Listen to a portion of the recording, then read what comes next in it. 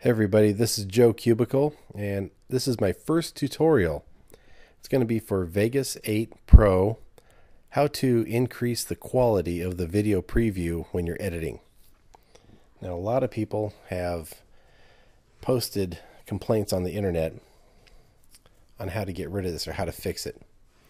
There's a built-in feature in Vegas that lets you kind of get around it, but it doesn't really fix it that's the pre-render and we'll cover that in just a little bit here. So Vegas is up. So what I'm going to do, I think, is drag in a clip. So here I'm finding my clip. Busy Saturday. And there I'm going to drag in one of these MP4 files. I'm going to drag in two of them for comparison. Or not really comparison, but to show. Now this is without doing what I'm about to show you. There's me standing and approaching the camera. Notice the two black lines on either side of the clip down in the preview window. See, I've not custom fit the project to the clip. And that's what this tutorial is all about. I'm going to drag in another clip because I'm going to demonstrate how it looks going from one clip to another with a butt cut and then a transition, a crossfade transition. I'm shortening up the clip, the first one, and then I'm butt cutting the uh, or not butt cutting, but I'm just butting the second one up against the other one, and there you, I'm just playing it without custom, without using the custom properties. And as you can see, it's pretty choppy.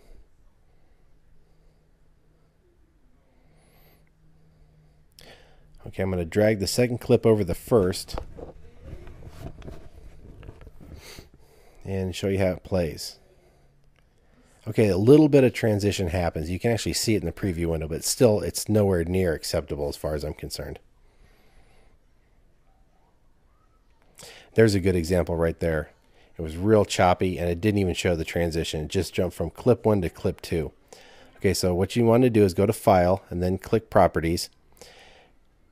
As you can see, you've got all these different choices. And down at the bottom, I've already made a few custom property settings. Now there's my 3x4 YouTube, but I'm not going to choose that. I'm going to click on the yellow Match Media Settings folder.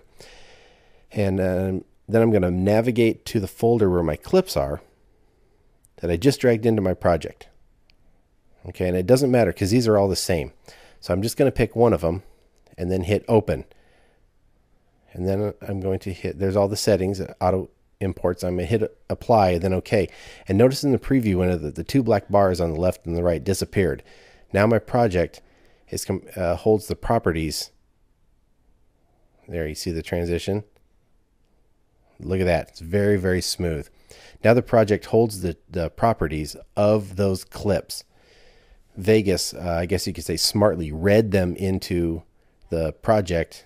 And now that uh, it, helps out a lot. Vegas knows what to do with your clips, and the transitions and uh, the effects and everything work 10 times better.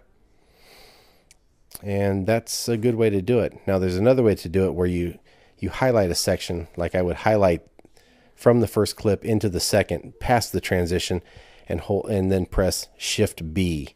And what that does is a pre-render, and then once it's done, then you hit the spacebar to play it, and then it plays pretty smoothly. Now that works great every single time. But that takes a little bit of time because if you select a large region, then you have to wait a while for it to pre-render. But anyway, that's a good way to uh, get around the choppy preview in Sony 8 Pro. Thanks for watching. This is Joe Cubicle. Go to joecubicle.com for a lot more cool stuff. Thanks.